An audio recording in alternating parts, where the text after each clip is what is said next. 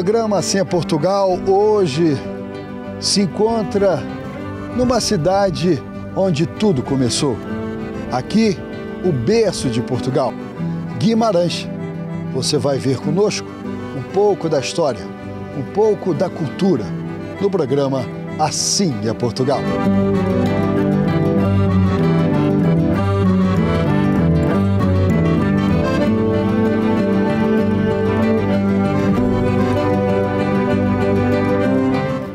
Programa Ser Portugal, entrando nesse emblemático castelo de Guimarães, vai contar com a colaboração de um arquiteto, mas que é nascido aqui e já ficamos sabendo um apaixonado por a terra que o viu nascer. Luiz, muito obrigado em nos receber, Nada. muito obrigado é em nos apoiar e mostrar um pouco da sua cidade. Obrigado, é o prazer é nosso, nós adoramos receber pessoas e eu só, só estou a cumprir a função que qualquer pessoa da cidade cumpriria. Nós estamos nesse castelo emblemático. Conte pra gente um pouco da história desse castelo. Guimarães teve um papel, aliás, o papel principal no desenvolvimento do, do país. Foi através do, do nosso primeiro rei, Dom Afonso Henriques, da cidade de Guimarães, que conquistou aquilo que é hoje definido como nosso território. O castelo era uma das principais fortificações do, do, da, da, cidade. Ele desenvolve-se, tem um papel preponderante na cidade, coloca-se no cimo da colina e, eh, e, e, toda a cidade se desenvolve através da, da sua função, que era de proteção. E ao longo dos anos ele foi, foi sempre sofrendo algumas alterações, foi, foi aumentando, até porque uh, a sua importância aumentava também e, eh, e foi sempre se aguentando ao longo das batalhas e foi resistindo e, e, o resultado é, é, o nosso país que temos hoje. Essa ponte foi feita depois ou tinha função importante na época? A, a, a, ponte tem, tem uma função predominante e muito importante na época, ou seja, o castelo é, é, é construído por níveis. Temos o exterior, temos a muralha exterior, depois dessa muralha ser invadida, temos esta fortificação aqui onde nós nos encontramos neste momento e depois, se repararmos, o, a ponte coloca-se a um nível superior. Ou seja, eles teriam que entrar dentro desta fortificação, o que era muito difícil e nunca chegou a acontecer, teriam que subir a um segundo nível e posteriormente esta ponte é levantada e to, to, toda a cidade, principalmente o Principado, o Dom Afonso Henriques e sua família, colocavam-se dentro do, da torre de homenagem, levantavam a ponte, ou seja, a invasão era praticamente impossível. Luiz, aqui seria a capela onde Dom Afonso Henriques foi batizado? Sim, eh, esta, esta capela, que se chama Igreja de São Miguel, está aqui colocada na zona nobre da cidade, ou seja, está aqui junto ao castelo, no alto, no, alto do castelo, e, eh, e segundo consta e reza a história, foi aqui que foi batizado Dom Afonso Henriques. Mais um ponto emblemático que faz parte de todo esse complexo que nós estamos passeando? Exatamente. É, aqui podemos dizer quase que termina a colina, a colina nobre da cidade, e termina com, com o Passo dos Duques de Bragança. É um edifício que data do século XV, mais ou menos, tem claras influências europeias e sofreu muitas reestruturações ao longo do tempo, perdendo até algumas características. Hoje em dia ele é, é, é utilizado como, como uma residência oficial do, do nosso Presidente da República, a residência oficial do Norte, e, e é utilizado também como museu. Aqui nós terminamos a nossa visita a todo esse complexo, esse castelo histórico. Ao nosso lado, Dom Afonso Henriques, que recebeu várias homenagens do Brasil.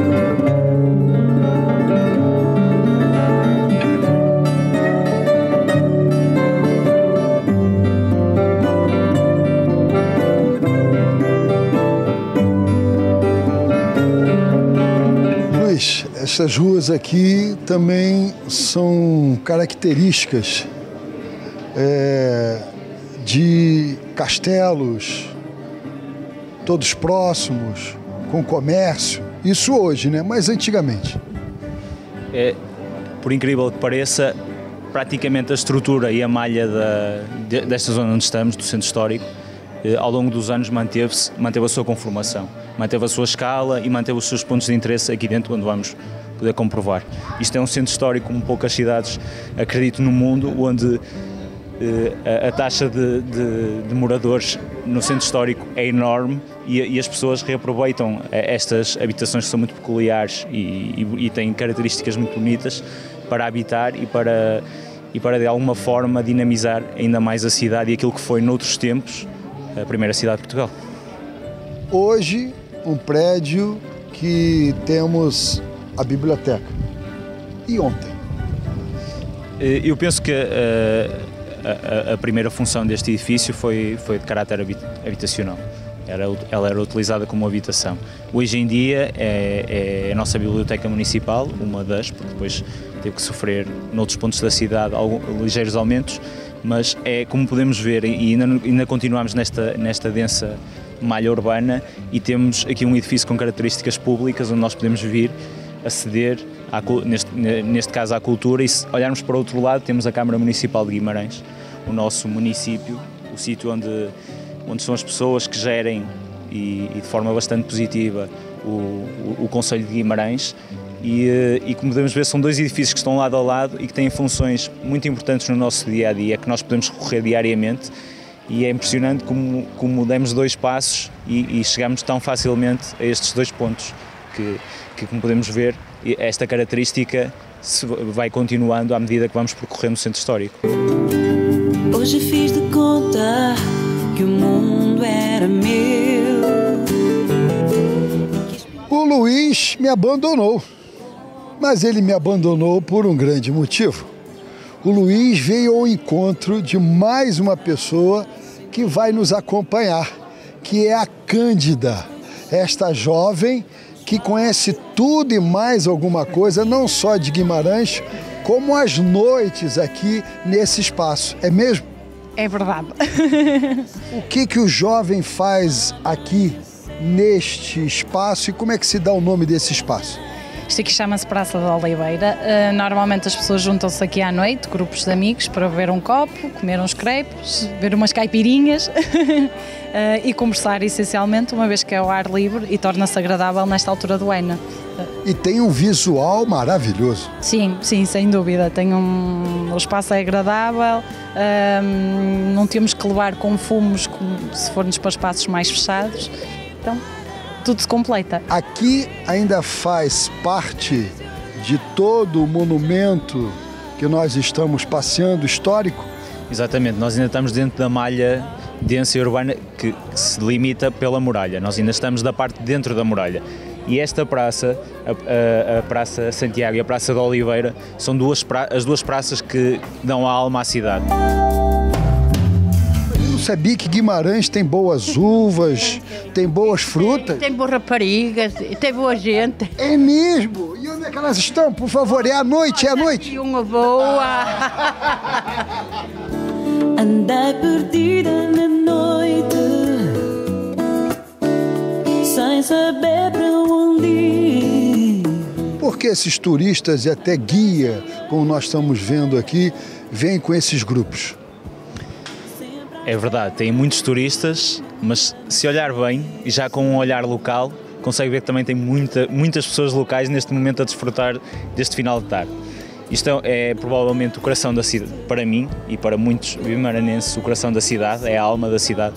Estamos na Praça da Oliveira, que é, é o culminar do, do caminho do castelo, descendo a colina até, até chegarmos aqui ao centro histórico. Isto é, é o culminar e é, como podemos ver, uma praça que tem, tem muitas características da Praça de Santiago, que, que, que se relacionam entre elas, caráter social, tem, temos aqui a, a, deste monumento a Igreja Nossa Senhora da Oliveira, que é a igreja matriz da cidade, que tem, que tem muitos anos, uma arquitetura gótica e que de alguma forma há aqui uma passagem do, do caráter social, caráter religioso e mais uma vez a habitação com esta característica constante sempre em, toda, em, em todo o centro histórico. Cândida, aqui também a juventude é, prestigia e deve ser um dos pontos também de Guimarães. Sim, eh, em junção com outra praça que tivemos antes, é, é onde as pessoas continuam a juntar à noite. Tem também vários bares aqui em junção com outra praça, vem até cá também. Nós agora acabamos de sair do, da zona muralhada da cidade, no entanto, ainda nos, como pode comprovar, ainda nos encontramos uh, em pleno centro histórico. Isto, do ponto de vista de, de moradores e habitantes de Guimarães, é, é, é, muito utilizado. Como podemos ver, temos esta zona toda verde que foi reestruturada quando a capital, a capital Europeia da Cultura, em 2012, e que de alguma forma define uh, a, zona, a zona histórica da, da, da zona da expansão da cidade. Luís, aqui um espaço diferente de onde nós viemos. Zé Carlos, aquilo que me perguntou há pouco da, da dificuldade que é no nosso país de arranjar trabalho, esta é talvez a, a melhor resposta e a resposta mais recente que, que, o nosso município nos disponibilizou. Estamos num espaço que, na sua grande maioria, é ocupado por, por jovens. Temos do nosso lado direito um complexo de indústrias criativas onde eles podem desenvolver as suas ideias e onde a, a, a cidade proporciona condições para isso e onde já, já obtemos alguns resultados. Temos do, do nosso lado esquerdo um, um, museu onde temos a, a, obra exposta de José de Guimarães, que é uma obra extensíssima e onde podemos ter acesso a coisas, a coisas tão distintas e, e tão bonitas. Mas acho que o mais importante aqui é, é, é a praça e é a, a dinâmica que o antigo mercado tinha que, que, acaba por, por se manter. Como podemos ver, estão aqui algumas pessoas sentadas a relaxar. É um sítio que está no centro histórico, mas que, que, que, se abstrai um bocadinho daquilo que é que é aquele registro, aquele registro daqueles edifícios que nós, que nós há pouco tivemos a oportunidade de ver. Ou seja, nós aqui temos um, um sossego diferente, temos um espírito jovem onde podemos relaxar e, eh, e, e, e desenvolver novas ideias.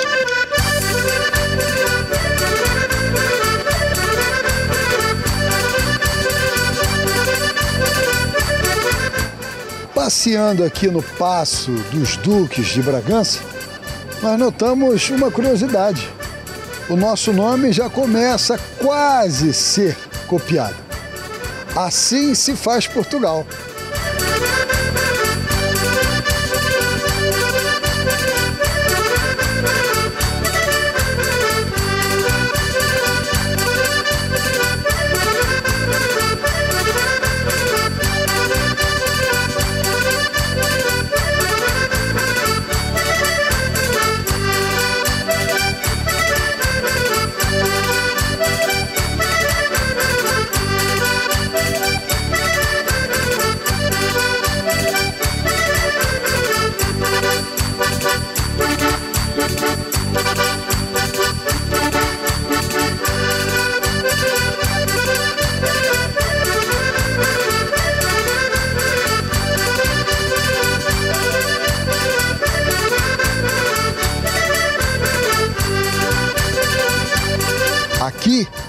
Nasceu Portugal. E nós, brasileiros, continuamos descobrindo este país. Assim é Portugal.